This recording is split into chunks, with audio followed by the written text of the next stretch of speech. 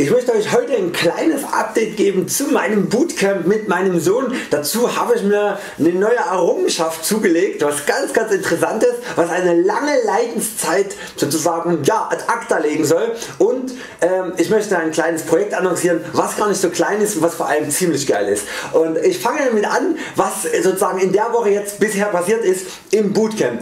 Für die Leute die mein Video am Samstag oder am Freitag war es glaube ich nicht gesehen haben. Ich und mein Sohn haben uns vorgenommen vorgenommen für 4 Tage, 3 Tage intensiv, der 4 Tage so halb, aber ähm, für eine gewisse Zeit, also sag mal, genau für 3 Tage, Montag, Dienstag, Mittwoch von früh bis abends ähm, verschiedene Sachen zu machen. Und zwar zum einen komplett rohköstlich zu leben. Eigentlich war es ein veganes Bootcamp, aber da ich ja, irgendwie das Bedürfnis hatte noch einen Gang nach oben zu gehen und mein Sohn äh, ja auch die Herausforderungen liebt, haben wir gesagt okay wir leben rohköstlich. Das heißt von Montag bis Freitag rohköstlich für mich und meinen Sohn. Für mich ist das schon ja okay, muss mich da schon zurücknehmen, aber mein Sohn, der ist nicht mal Veganer, also der kennt das nicht und für ihn ist eine besondere Herausforderung, aber bisher einwandfrei. Gestern gab es das erste Mal für meinen Sohn Gurkenspaghetti mit diesem ähm, Spiralschneider, den ich äh, von euch empfohlen bekommen habe und wirklich eine Soße dazu. Mein Sohn hat gesagt, wow, das schmeckt wie Fleisch.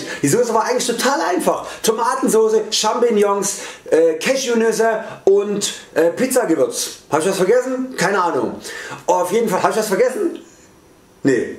Gut, auf jeden Fall, ich glaube die Sachen waren's und, und es hat super geschmeckt. Dazu einfach nur Gurken durchgelallert da in diesen, diesen Lurch äh, Rumschneider und genial, also wirklich super. Und äh, Smoothie haben wir getrunken, mein, ich habe so einen kleinen Smoothie Maker, so, so eine kleine Version, da macht mein Sohn sich jetzt immer die Smoothies, auch mit Gemüse, mit Weizengraspulver, geht echt total richtig gut ab. Und ja, wir sind dabei und wir sind beide total energiegeladen. Und wir waren heute im Garten, es hat zwar geregnet, aber wir haben äh, komplett den halben Garten äh, geästet und geschnitten und, und dann haben wir äh, Walnüsse, äh, einen wilden Walnussbaum haben wir gefunden und da haben wir, da lagen unten ganz viele Walnüsse. Hier sind noch, haben wir schon die ersten äh, Dings gemacht. Und da haben wir jetzt das erste Mal von Walnussbäumen, wilde Walnussbäume, ähm, ja, haben wir die Walnüsse gesammelt. Für viele von euch wird das wahrscheinlich total normal sein, für uns war das einfach geil, also irgendwie so wild, wilde Walnüsse, also wir kennen die irgendwie nur aus Tüten. Und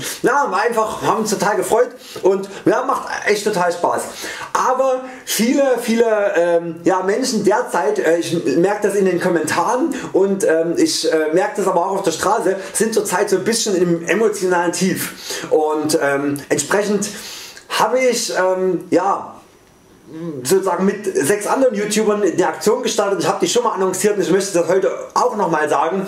Und zwar äh, diese Herbstfreude. Wir haben an jedem Tag der Woche, am Montag ist schon losgegangen mit einfach anfangen. Die vier Tipps hatten ja, für Power und äh, lest euch, äh, tut einfach äh, da nachschauen bei einfach anfangen. Dann am äh, Dienstag war gemeinsam vegan und am Mittwoch Krauts. Und ja, am Donnerstag komme ich dann dran und entsprechend äh, schaut auf jeden Fall rein. Morgen werdet das Video bei mir sehen. Auch die anderen Beiträge Beiträge sind bisher wirklich sehr sehr sehenswert und am Freitag kommt die Mojo D, dann kommt noch die Silke Leopold und es kommt noch die, der Garten Gemüsekiosk der Saison und, oder die Reihenfolge weiß ich jetzt nicht ganz. Auf jeden Fall ist eine tolle Aktion und jeder versucht so ein bisschen gute Laune zu bringen, eben in die Zeit jetzt, wo wirklich einige mit ein bisschen depressiv sind. Und das ist so normal bei dem Wetter. Ich verstehe ich total. Ähm, ich nicht, aber ja, aber ich sehe es ja halt häufig draußen.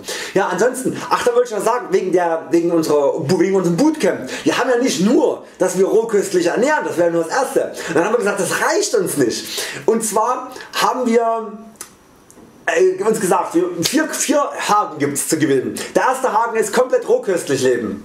Der zweite Haken ist, Sie, ich weiß was ist, du brauchst nicht sagen, wir machen es. Also, der, äh, der zweite Haken ist Krafttraining. Das heißt, dass wir jeden, jeden Tag einmal so eine richtige Kraftsession machen. Dann eine Ausdauersession. Sie, ich weiß das, du musst das nicht sagen.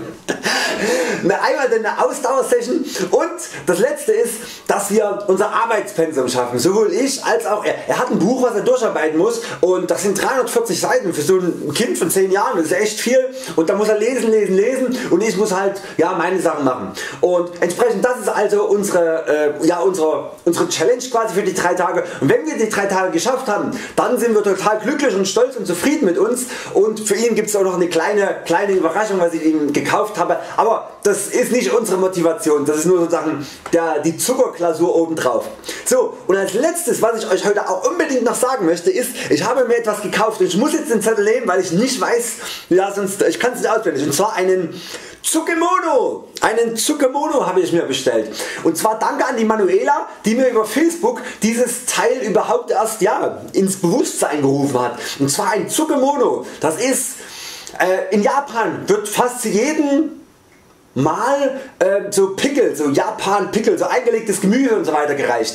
Und das sind ja, das, sind, das ist so eine Art fermentiertes Gemüse. Allerdings nicht 6 Wochen fermentiert oder sowas, sondern eher so eingelegtes Gemüse. Und da gibt es auch welche, die werden bis zu ja, ein paar Monaten fermentiert, 2 Monate und so weiter. Und da gibt es auch welche nur eine Stunde oder 24 Stunden. Und da gibt es eben so ein Gerät, das drückt das einfach unten drunter, wie wir das so mit einem Stein machen. Und, und da gibt es japanische Rezepte dazu äh, von äh, ja, ähm, eingelegten Gemüse halt und da habe ich mir ein Buch gekauft und eben diesen Tsukemono bestellt und da hoffe ich dass die Leidenszeit was meine Fermentierung angeht so ein bisschen zu Ende ist und ja, entsprechend ähm, habe ich mir den Tsukemono bestellt. Ich verlinke euch den mal unten falls ihr ja, mal schauen wollt was da ankommt und wenn das natürlich klappt dann geht's los mit Fermentierungsrezepten und mit Tsukemono Rezepten. Da gibt es nicht nur Instant Pot Rezepte bei mir sondern gibt es auch die erste deutsche Tsukemono Rezept äh, Sektion oder so.